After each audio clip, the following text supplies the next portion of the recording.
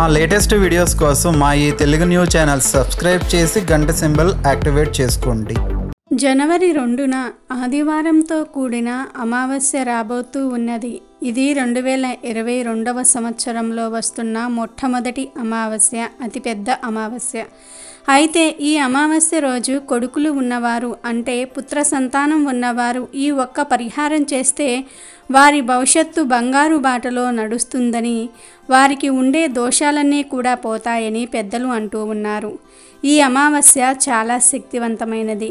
ఎందుకంటే ఆదివారంతో కలిసి వస్తుంది. కొడుకులు ఉన్న ప్రతి తల్లి ఈ పరిహారం ఖచ్చితంగా చేసి తీరాల్సిందే. మన భారతదేశంలో పుత్ర సంతానానికి ఎక్కువగా ప్రాధాన్యత ఇస్తూ ఉంటారు. ఎందుకంటే పుత్రులతో వంశాభివృద్ధి జరుగుతుంది.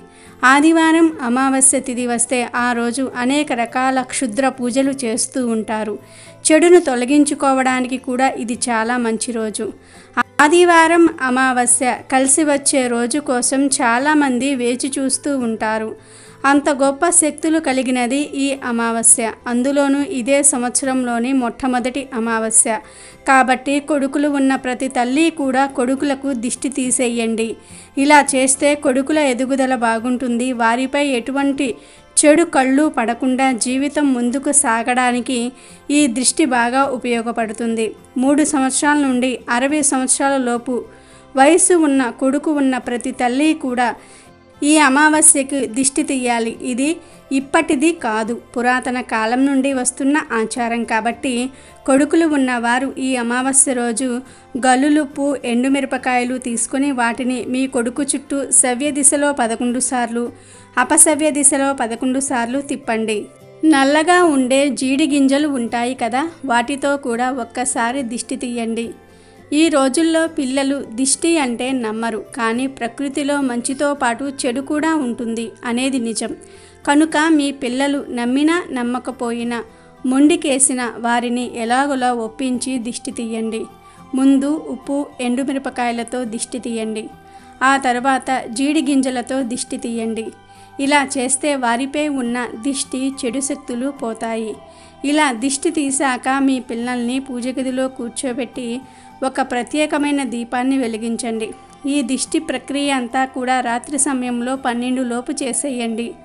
ఆ తరువాత పూజగదిలో ఒక ప్లేట్లో చిరుగులు మచ్చలు లేని ఒక మంచి రావి ఆకును ఉంచండి. ఆ రావి ఆకుకు గంధం కుంకుమలతో బొట్లు పెట్టండి. ఈ ఆకుపై ప్రమిదను ఉంచి ఈ ప్రమిదలో నువ్వుల నూనె పోసి మూడు వత్తులు వేసి దీపం వెలిగించండి. ఆ తరువాత దీపానికి కూడా పసుపు కుంకుమలు సమర్పించండి. పుష్పాలతో అలంకరించండి. ఈ దీపాన్ని వెలిగించినప్పుడు మీ మనసులో మీ బిడ్డల భవిష్యత్తు ఉజ్వలంగా ఉండాలి. జీవితంలో బాగా పైకి రావాలని భగవంతుని ప్రార్థించండి. ఇలా చేశారంటే మీ కొడుకులపై ఉన్న దిష్టి పోయి వారి భవిష్యత్తు చక్కగా వృద్ధిలోనికి వచ్చే శక్తిని ఆ దీపం కలిగిస్తుంది. కొత్త సంవత్సరం మీ కొడుకుల జీవితాల్లో చక్కటి ఫలితాలను ఇస్తుంది. మీ కొడుకులు చదువుతూ ఉన్న ఉద్యోగాలు చేస్తూ ఉన్న వ్యాపారాలు చేస్తూ ఉన్న ఏ రంగంలో ఉన్న వారి జీవితం మూడు పువ్వులు ఆరు కాయలు అన్నట్లుగా ఉంటుంది. కాబట్టి కొడుకులు ఉన్న ప్రతి ఒక్కరూ కూడా అమావాస్య రోజు ఈ పరిహారాన్ని చేయండి. వీడియో నచ్చితే లైక్ చేయండి షేర్ చేయండి. బట్ సబ్స్క్రైబ్ చేసుకోవడం మర్చిపోవద్దు.